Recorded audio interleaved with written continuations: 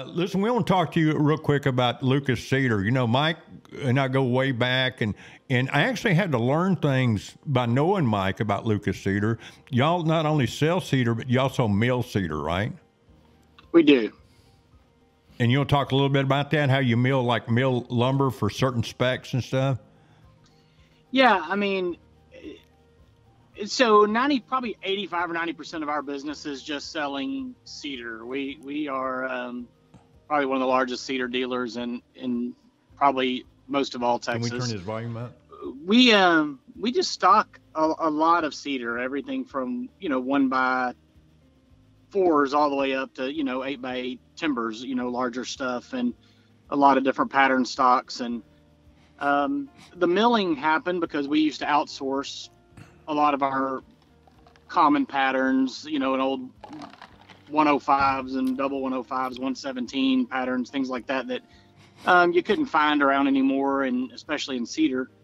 And so we used to outsource all that, and the companies that would do that for us just didn't take the pride and the care in it that that we wanted to. And so we uh, bought a couple machines and started doing that stuff ourselves, and it's it's grown. And um, um, what we try to do is the the small jobs that people can't go out. You're not buying Right. thousands and thousands of feet, but somebody's trying to make a repair. How about brick on an old mold? Can y'all make brick brick mold off of a spec, or do y'all have some uh, knives in a in a in a machine to to make brick mold for like around windows and all that? We do. Um, we we have a basic pattern, and if our pattern's close enough, then that's great. And if it's not, then we can we have the ability to make those knives or create those patterns exactly to what Daniel, what you would need. Daniel, on the so you said 105 siding, and and so my experience with 105 siding, it's pine. So you mill other stuff besides cedar, right? Correct, but we actually stock make in stock the 105 pattern in cedar. Well, you know, But- like but 105, we oh can use other products. like 105 is a perfect example, and cedar is a perfect example. It's like it's it's like whenever that house was built, it had a different size 105 or a different size cedar. Do you tend? Do you have the ability to match those cedars up with? Because a lot of times we're just doing small little repairs. There's seven and a quarter or five and a quarter, right? There's Right. two sizes. Well, I mean, even the three quarter, you take the three quarter cedar, which is one by, that one by's changed over time. Oh yeah, and you know I want to mention that too because talking to Daniel, I got a little bit more information and I kind of pull it out of him that, that Mike didn't give me. Y'all carry three quarter inch cedar, right? The thickness. So if someone wants a higher end fence, will last much longer than that. That you know that cedar's gotten so thin you about read a newspaper through it, right? And it bends. Oh yeah, It bends. bends and warps and all that. But that three quarter inch board, which I, I used to buy a lot of my wood from Monobano because they still carry that three quarter inch board. They don't do that anymore. But y'all stock that, right, Daniel? Yeah, so the pickets and the regular, you know, boards are a little different uh, animals, but in the regular boards, that common that that new nominal is 11 sixteenths. It's right at three quarter inch on all the one by material. Um, when you get to pickets, that normal is a five eighths. Right. and so we still stock a three quarter inch picket and we stock the regular one by material and then but we also have the ability to custom cut rough cedar you know in the full old full one inch material like if you're re- making a repair that's 25 or 30 years old and that one by four is still a one by four You know, that's a Um, really good. we and can you still can, do that as well and you can do that with other stuff too, right? I mean, like Sure. like the 105 siding.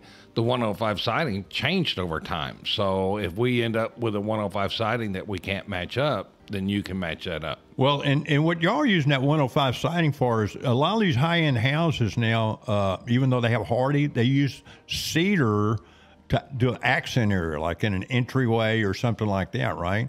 Because I'm seeing that, Correct. and I live in East End and close to downtown Houston. Of course, my old neighborhood is is changing fast, and uh, and I see these houses that are tearing down a an old house and they're putting up a, a million dollar house, and there's a lot of cedar in spots like under the underhangs and special places because it really is classy.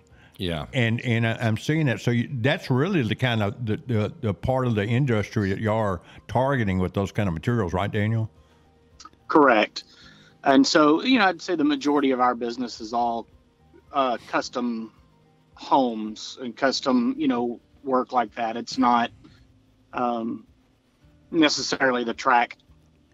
So a lot of Well, you know- restaurants and, and, and commercial uh, buildings and stuff, they're doing accents on the interior of their building, like a lot, lot in office spaces and all. They really like uh, calling you guys and using you, right? Correct.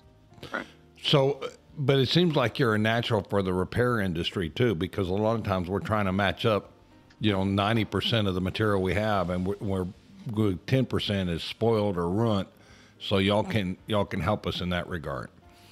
Sure, we can we can match those old profiles and, and things that And now you y'all, you guys aren't open on Now he used right? a technical term, so you have to tell him what that technical term Oh. is, Pat. He used the word profile, so tell Oh, him. profile. Yeah, let's real quick. Let's talk about a profile. Profiles. Matter of fact, there's a profile chart that's pretty universal. And when he said 105 siding, that's a siding that has. Um, well, one thing is it's a tongue and groove. So in other words, each piece fits on the other piece, and then like it's got a male female Right. it, and then and then the top of it has like a little swoop to it. And, and that's called 105. And then you have uh, uh, number 117. You know what that is, right? that tr- traditionally we yes. call it shiplap, right? Right. Because it looks like the side of a boat. And uh, you, can y'all cut that too in cedar? we do. And uh, you know, with uh, oh Chip and Joanna, shiplap became real popular, and, and we sell a lot of shiplap now because of that. We manufacture a lot of shiplap because of that. Well, that's great. That's great information, and you can get L- Lucas Cedar off of uh, MassivePassiveShow.com.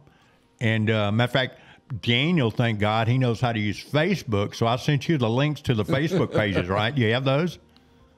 I have them. Yes, I don't.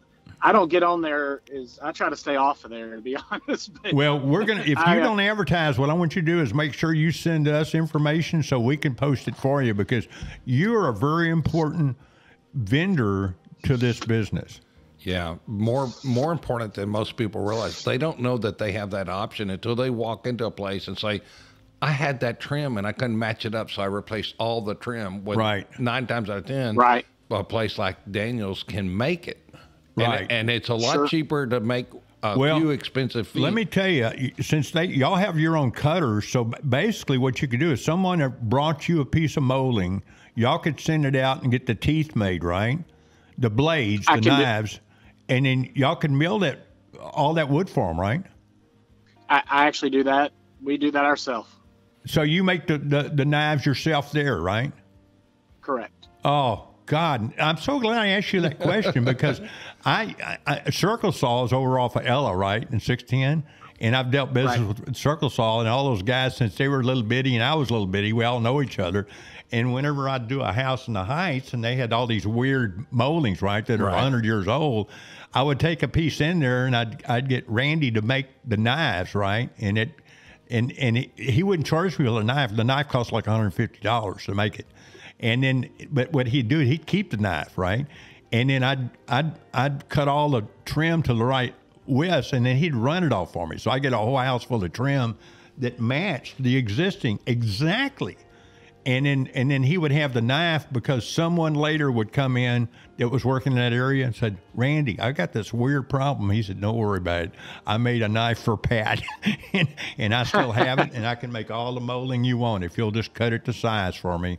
We'll run it." And what Randy would do, he'd charge you a great price, and then because he was using the money to buy food for the deer feeder, right, and to spend on the deer lease. So there's now that's a rabbit hole. well, listen, That's but for listen, sure a rabbit Yeah. hole. the reason If I'm you're telling you all that stuff, deer- that's why you want to call call me and call Ray because we have been in this business forever. we know if he doesn't know somebody, I know him, and if I don't know somebody, he knows them, and uh, that's the beauty of, of working with us. Before we let him go, I want to ask him eh, one question because he, he brought up about the shiplap and how that became popular, and what I just wonder how many customers are getting that are doing exactly what we're doing, and what we do is if we buy a high end house, we'll take that foyer or we'll take that closet or we'll do something and we'll throw in some wood that has some real quality and, and uniqueness to it that you don't see every day. Right. Do you get a lot of business that comes from that kind of mindset where people are trying to add that little extra Ambiance. attractiveness to the house, that accent wall? We do, and, and that's that's uh, bigger builders as well as just individuals that come in that say they just want to do an accent wall in a bedroom or in their their foyer, like you say, uh, where they just want to do something a little bit different, and and that's where the shiplap and the um, some of those different pattern, you know, come in, and uh, people just want to put that that one wall in, um, and it to really, like you said, enhance the the look and the value. Yeah, when I was doing work all the time, I mean, as a as a worker, as a contractor, I used to keep a, a molding chart in my wood shop, so I could just go in automatically and identify it. Right. Because I was having to having to show my car- carpenters, you know, what I was talking about. Yeah, about. and you got to put a name on it, and every one of those things has a weird name. To it has a name and a number. Yeah. and that number is actually the name.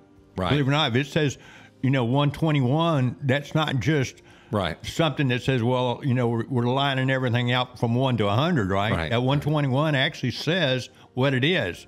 So actually, you know, if you're doing these moldings a lot, you learn those numbers, right, Daniel? Yeah, you do. They they uh, there's a lot of them though. He said, he said that with a sigh, like, oh my God. Don't, don't put me on the spot and ask me about Don't one. quiz Well, I me. could hear the Don't- frustration don't in his test me on voice. that. It was like- well, Daniel, thank you for calling. Yeah, calling thanks in. for and- calling and, in. thank you for supporting us. And we're going to do everything to support you because you're such an important part to this business and to making a really, thank you. taking an average product and making it great. Yeah, I mean, you're not just important to us. You're important to, to every person that listens to the show and every person that we help along our path. And we've got a lot of those. Right.